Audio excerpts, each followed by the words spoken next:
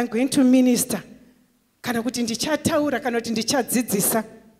Pamusoro pelove within the family. Love within the family. And our theme scripture for this month we were taking it from uh, matthew chapter 14 verse 14 please can you flight it for me so that i can hurry? Hallelujah. Inotaura iyo nezvajesu paakanga achibva kwaanga achibva kunoshumira ndobva asvika panga paine mhomho yevanhu and he felt so much. He was moved with compassion. The word of god is saying and when jesus went out he saw a great multitude and he was moved with com compassion for them and healed their sick. Ndinotenda kuti jesu paakaona vanhu ava hanzi it was actually a great multitude and there must have been thousands and thousands of people. Inini ndoda kuti nditaure kumhuri manheru ano hatinenge tisitombori a great multitude but tiri vashoma shoma kudaro tinotadza kupanana rudo. Imo mumba imomo tiri so few. Maybe we are just the two of us. Maybe we are just five of us but rudo so rudo kushayikwa zvachose. But the example we are getting from jesus he saw a great multitude. Kubva atotanga kushumira pathat great multitude iyoyo manheru ano mwari vachitaura nesu kudai. I just want yourself to check yourself. Kuti uti what am i doing concerning this love? Yetashumirwa mwedzi wese iyoyo mumhuri menyu imomo uri kugara sei nemudikani wako? Are you showing love? Halleluya god is the author heis the source of love. Saka we have to allow god to take over our lives. We have to totally surrender to god so that we'll be able to manifest this love iri matiri inotungamirirwa namwari. Halleluya we cannot do this on our own. This cannot be done by human wisdom. Nyaya yerudo yetiri kutaura pano vadikani the source is god. Jesu ndiye akademonstrata rudo and we are supposed to copy from him. Halleluya i'm going to read from psalm 127 verse 1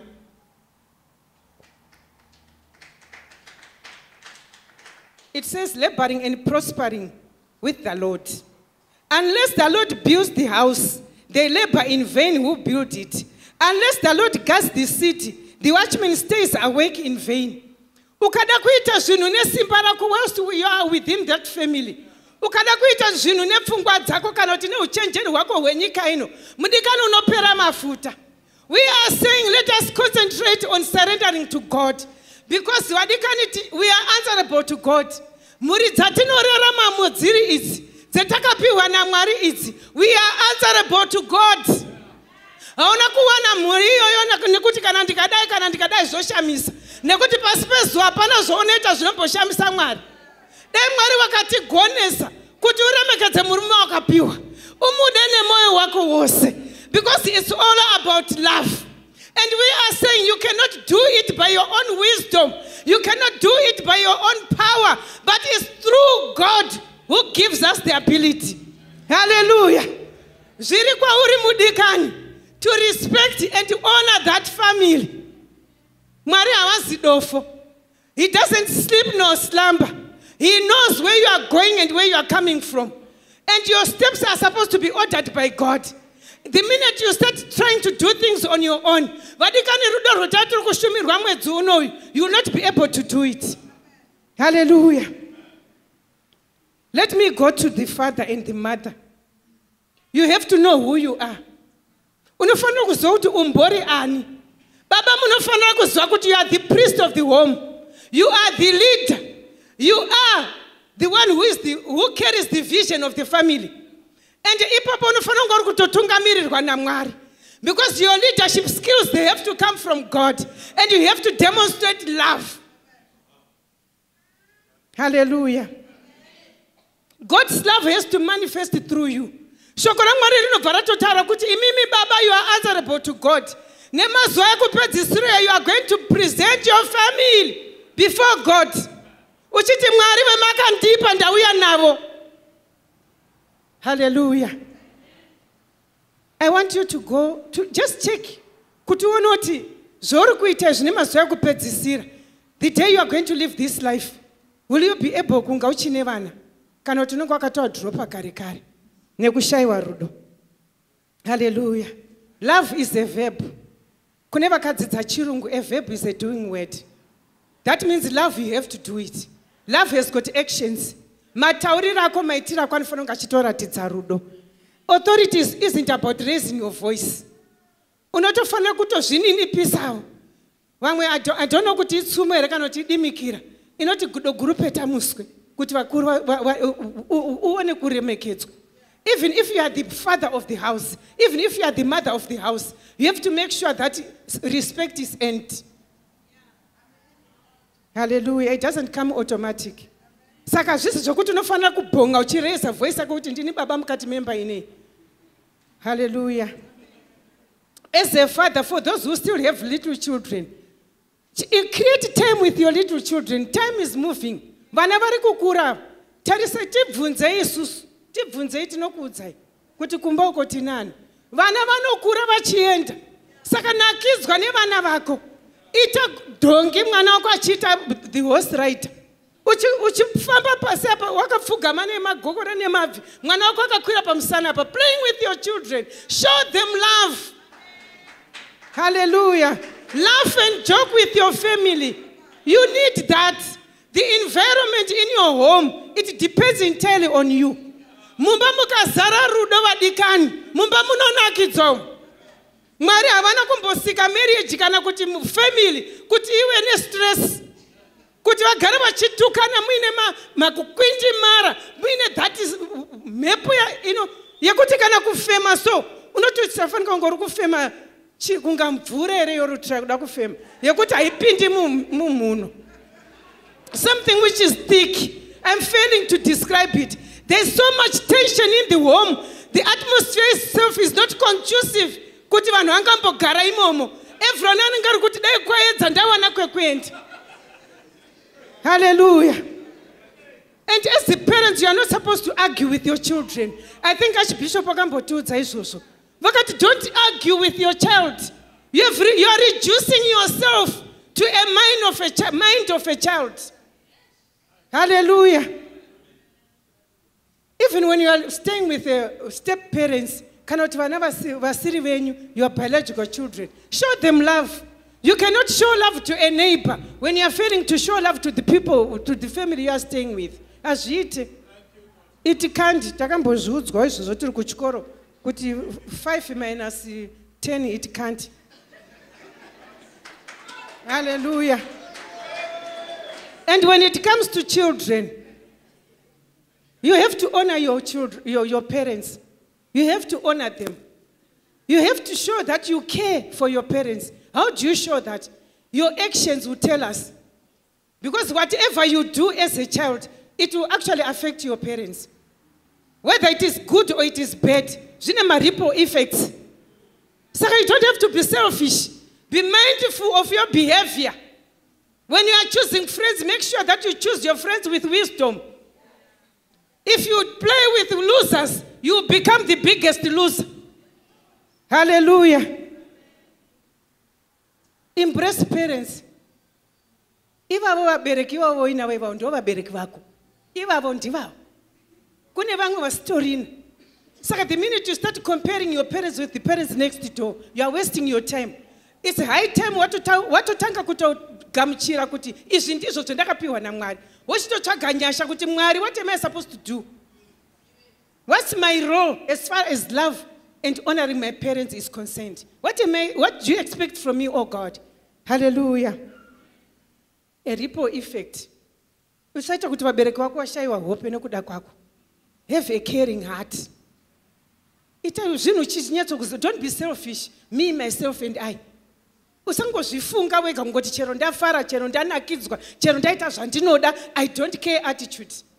You cause sleepless nights to your parents be mindful of your behavior. What is it that you are doing? Are you showing love? Uri kuratidza kuti une rudo here? Uri kuratidza kuti zvauri kuita izvozvo izvo you care about the, the person whom you have left at home.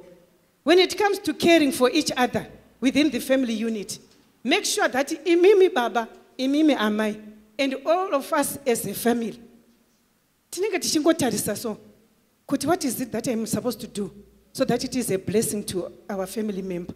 Chii chandingaita chinoita kuti vanhu vafare neni. Chii chandingaita chekuita kuti vanhu vafile kuti i am a blessing. Let's not be a burden to someone. Kuti munhu anenge achingofunga kuti wakomana here mwana uyu mwari maiti kundiite seiko? Munhu achishungurudzika nekuda kwako kana kuti mukadzi uyu mwari wemakandipa mukadzi uyu. Tidzokerere kumazuva aadhamu ekuti adhamu unoti mukadzi uyu? Mwari ngavatibatsire be the woman of today. That you are a blessing to your husband. Be the man of today. That you are a blessing to your family. Be the priest of the home. Mira nemhuri yako. Haleluya show them love. Taramboona bin harden wazuva ranhasi mwari wekudenga vatibatsire i remember there was this other kumfu guy. Mukomana uyu achikura. Amai vake would stand with him amai vake vaida zvezvo zvokuti baba vacho was very rough. Saka mwanakomana ainyanya kuwana kutsigirwa in his career kubva kuna amai vake. But he never had time with his, with his mother. He was always very busy. After the kung fu training he would go back home. Maipo anongodobvunza kuti ko wa- wa- waswera sei? Zvazofamba sei? Wangododini ah mama i'm tired. I don't have time with you. Then it came a time when paakaenda for some um, training and also kuti aende kunoita kumfu yake. He just received this phone call yekuti you have to come home early because your mother is dead. He thought of the last time when the mother said i want to talk to you and he said i'm too busy. Create time for each other. Vadikani this life is too short. It's like when you are a family muri mubhasi on a journey you are going somewhere. And each and every one of you each member has got a different bus stop. Paachasvika pabus stop yake your mother is going to, to jump off the bus or maybe it's your sister or maybe it's your brother. And it- you might be made to continue to your destination. Life is a journey and you as a family you are in a bus.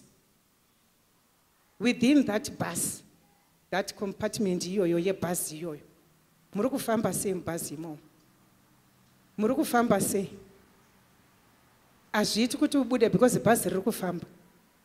And you are getting old. Maybe you say something bad to your mother.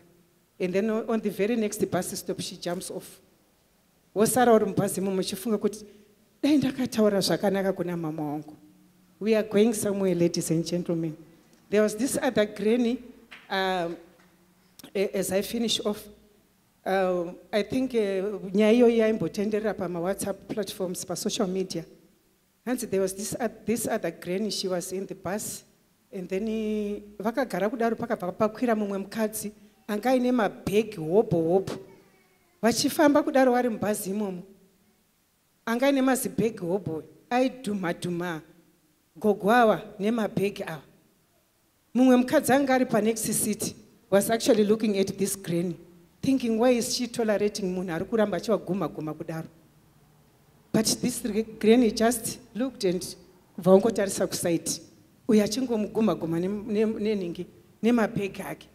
Uyu mukadzi ari kutarisa uyu ah! Akati regai ndiitenge nyaya akati imi mbuye zvamuri kuitirwa izvozvo here izvozvo? Muri kurambira muchiguma. Mukadzi uyu ari kuita zvinhu zvaari kuita izvozvo?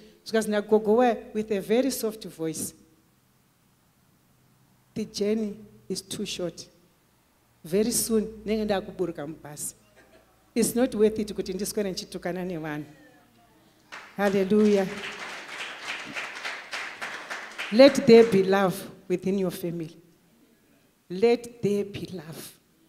The journey is too short. Kuti mugare makagumbukirana. Kuti mumba mugare muine tension.